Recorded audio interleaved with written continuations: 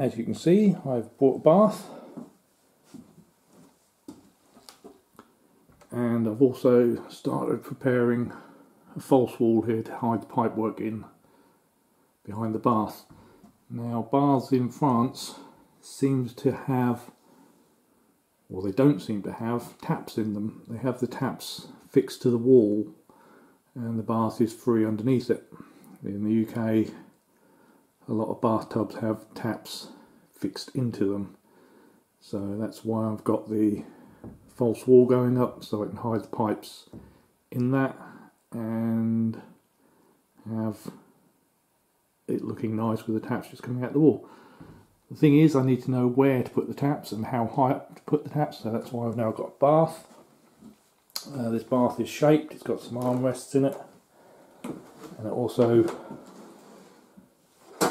allows me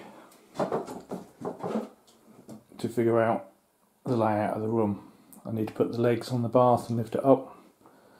Um, a lot of people would seem to like freestanding baths, but I want this bath to have a shower over the top of it. And if you have a freestanding bath, you then need shower curtains and things.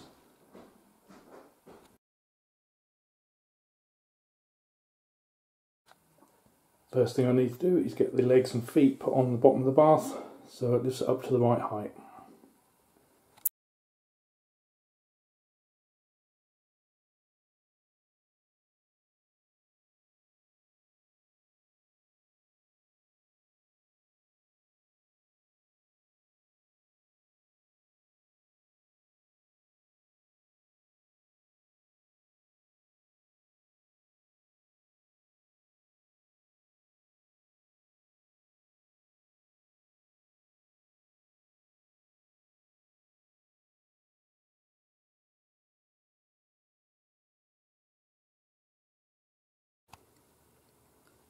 So there we go, that's where I'm going to put the bath.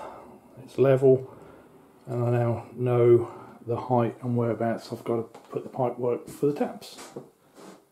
So move the bath out of the way, get on with some pipe work.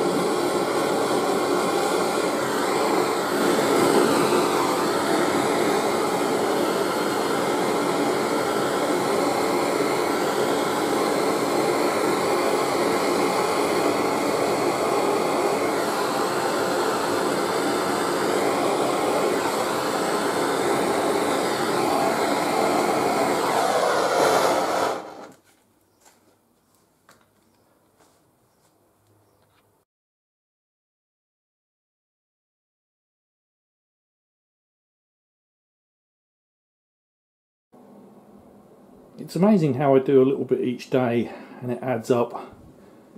And then the next time I do videoing it looks like I've done loads. Uh, so what have I done? Well with the bath in place I knew where the taps were. So I've run the hot and cold feed for those. I've built a stand for the sink. This is another reclaimed sink Again, it goes with the style of the house, and I've built a uh, what will be a cupboard next to it with some worktop on top of it for toiletries and things. what I've got to do today is underneath the sink here, I've got the tap connectors, and with the sink in place, I know where I'm going to put these tap connectors on the wall. I'm going to drill down through the floor. The pipe's going to run under the floor and then back up in the corner under the bath and join on with the feeds.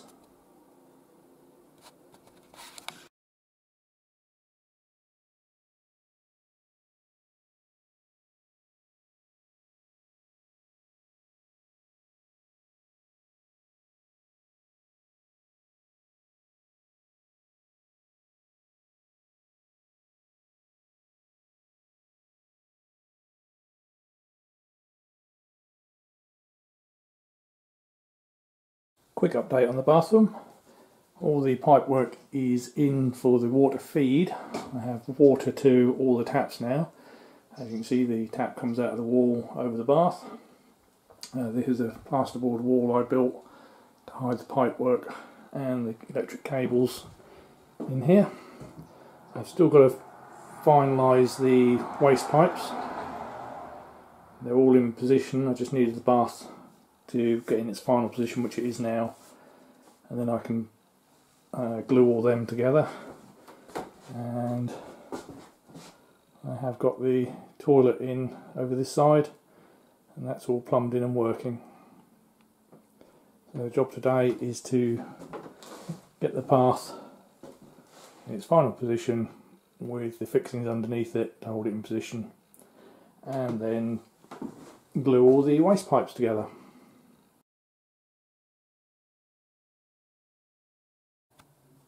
Down in the first floor bathroom, this is where the pipe work comes through from the bathroom above. And I've got the bath waste come through there, runs along, picks up the sink waste, then goes underneath the joists along and then finally joins into the main stack up in the corner. I was always going to have the pipes run like this. That's why I've never finished off the ceiling in this room because I wanted to have access for the pipe work. But once these pipes are glued in place then I can put in a false ceiling in this room. And this will be another room almost ready for decorating really.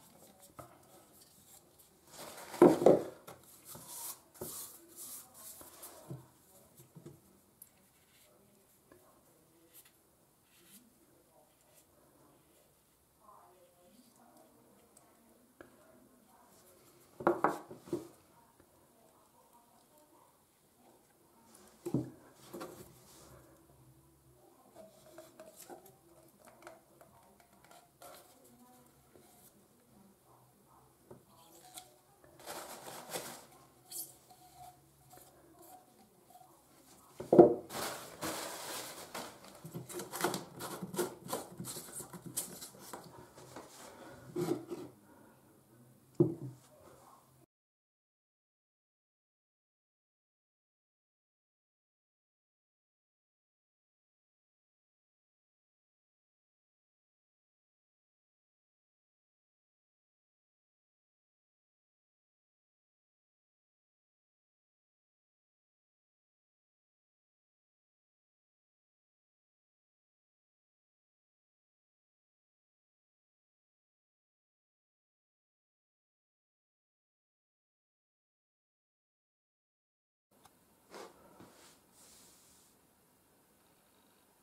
Now that the bath's in place, it's time to waterproof these walls. Um, I'm going to put a shower over the top of the bath, so this plasterboard needs to be waterproofed. And to do that, I'm going to use a waterproofing kit that I got from the local DIY place. It's a paint on rubber uh, membrane, for want of a better word, similar to what I did in the shower downstairs. Um, and this is the stuff that I'm going to be using. It comes with a primer which I've already put on the walls. Leave it for two hours to dry. I've left it overnight, and then today I'm going to be putting on this stuff over the joints, and then painting on the actual waterproofer and it should have two coats of that. So let's get on with that.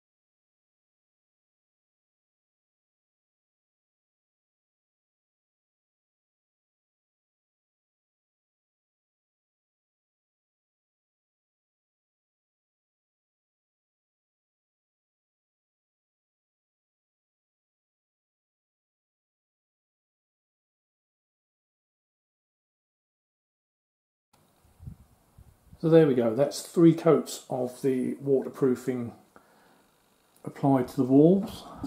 Um, obviously this will be tiled over eventually, but the waterproofing behind it just stops any damage if it goes through the grout. I've also taken the time this afternoon to put up some coving just to finish the join between the walls and the ceiling. see it just fades away into the curve along this beam. I think that's just going to finish that off. It goes all the way around to above the door and again into the curve of the ceiling.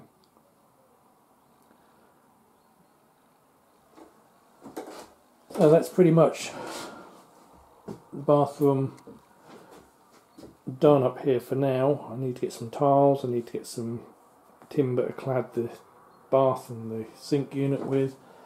Um, need to just box in these pipes in the corner. The toilet's in and working. Need to get some flooring um, and paint everywhere, but obviously I'm not going to be, be doing very much in here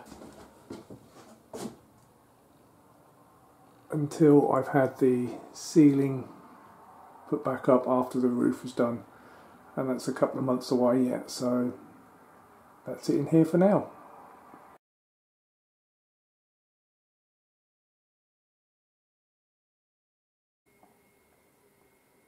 This is a fiberglass bath. I like fiberglass baths because unlike metal baths they keep the heat in the water whereas a metal bath tends to leach out all the heat out of the water very quickly. Um, the bad point on a fiberglass bath is you have to support them to stop them flexing. And as you can see, I put a wooden framework all the way around. There's also a piece across the back and the front. And what I have also done is I've used some adjustable kitchen cabinet feet to build a plinth under the middle of the bath so that will stop the bottom flexing as well you shouldn't need to do that. The feet that they provide should be enough. As you can see, I've put a metal angle plate on here and bolted it down to the floor to stop it moving. So the bath is really rigid now, it doesn't move anywhere.